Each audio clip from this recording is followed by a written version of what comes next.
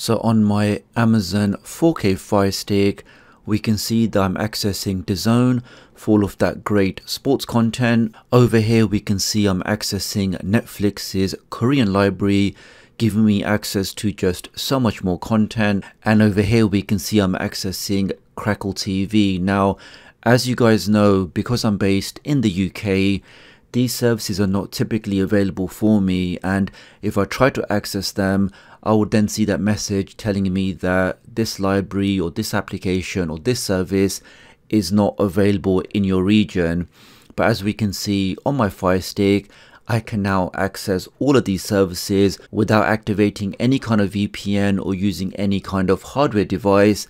I can now get these services absolutely free. So in this video today, let me show you how you can also follow this process on your Fire Stick or really any Android device all you need to do is just hit that like button make sure you hit that subscribe button so with all of that being said Let's get started. If you're new to the channel and you want to stay up to date with the latest tech tutorials, the latest Fire Stick, Android and Android TV tips and tricks, then please do subscribe and hit the notification bell. It's a small click from you, but it makes a big difference to me. Thank you. Okay, so before I start the video, let me just quickly clarify two things uh, based on some of the comments I got in my last video.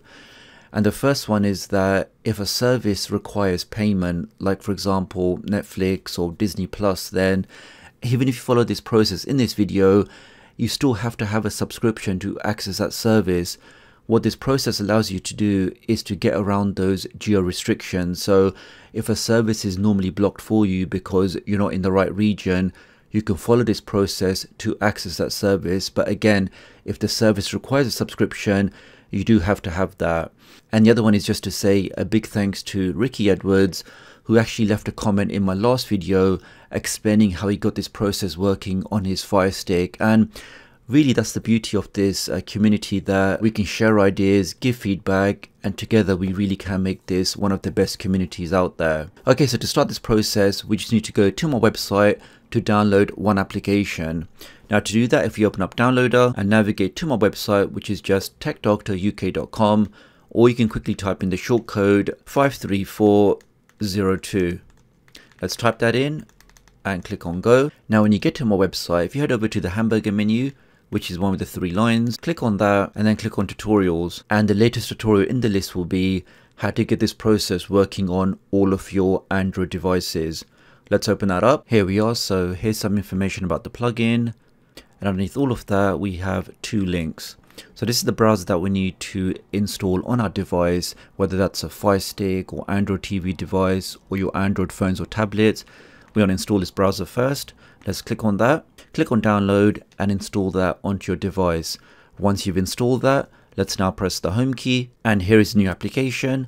Let's open that up and here is what the application looks like when you first started. So, so you have some shortcut links at the top here and you have uh, some news. Now the only slight caveat with this browser is that it does require the virtual mouse or the mouse toggle.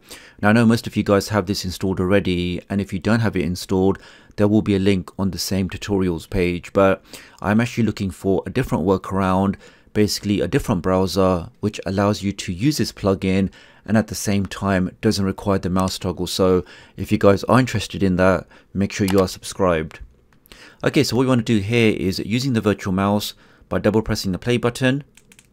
There it is. We want to head over to the three dots on the top right, which is basically like their settings menu. When I click here, we can see that they are using the Chromium backend, so all of these menu items are typically what you see on the Chrome browser. Now what we're looking for here is where it says extension, so let's click on that. We want to click on from store. Let's click on that and this now takes you to the official Chrome web store where you can now find all sorts of different themes and plugins. Now what we're looking for is the Stream Locator plugin so let's click on that here where it says search. I can now just type in the word Stream Locator all one word. Let's click on next. Let's now press back on the remote and there is the extension there so Stream Locator geo-unblocking by the experts.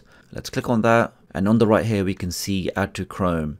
Now the great thing is lots of you left comments on my last video where I demonstrated this process on a Windows PC that how can we get this working on our Android phones or our Android tablets. Now the Kiwi browser is actually designed for cell phones and tablets so installing this and following the process in this video will allow you to unlock all of those services on really any Android device. Okay let's now click on add to Chrome and obviously on those devices you don't have to use any kind of virtual mouse. Let's click on OK. Give that a second and we can now see that the icon changes to remove from Chrome because that's now successfully installed. Okay, so how do we now access that? So if we once again go back to the three dots, let's click on that. Scroll down. Now key thing here guys, the way you scroll down when you have a virtual mouse is you actually use the forward button. So we can see when I press forward on the remote, that simulates me scrolling down. And if you want to scroll back up, you press the context key, which is the one with the three lines. So let's press that now. So there we can see me scrolling back up and let's go back down because what we want to click on is where it says stream locator. So let's now click on that. This will now take you straight to the plugin where you now need to activate it. Now activating the plugin is very easy. All you need to do is just enter in any email address. And the great thing is you can really enter in any address that you like. So let's click here. I'm just going to enter in AAA at uh, let's just do test.com and let's now click on start. Give that a second and that should then activate the plugin for you. And when it refreshes, that's now all fully activated. So that's pretty much it guys. We now have access to all of these services up here and scroll down. These are obviously the paid services. Scroll down and then we have many of these other services which are typically free or at least free with adverts. Uh, for example, as you know, Plex has many free live TV channels. Sling has also lots of great free content. Now, typically for these services, if you're not in the United States, that's where you get those geo restriction messages. But as we can see, for example, if I want to access Crackle TV, I can just click on that. This will now create a new tab for me. And again, without me activating any kind of VPN or anything like that, just clicking on that tab, we can see I now get access to all of this great content in this application. And just for a quick test, if I want to watch something, uh, let's just look at this uh, action channel, click on play, and that starts streaming straight away. And of course, if you want to, you can click on this icon down here just to make it full screen. And that's working absolutely fine. Let's back out of that. So for example, DAZN has some amazing sports content, but you really need to be in the right region to access that content. So uh, for a test, let's just say uh, we're in Canada, click on that, give that a second.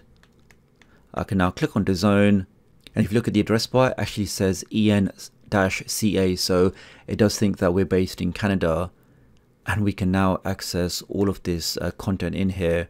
Of course, you do have to have a subscription, but again, using this process means we get around those geo restrictions. So overall, guys, a great plugin, absolutely free.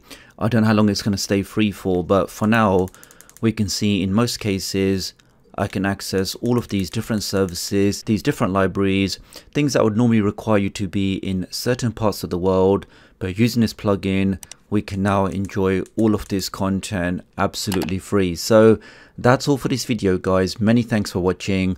Do leave me a comment below. Let me know what you think and I'll hopefully catch up with you guys real soon. Thanks.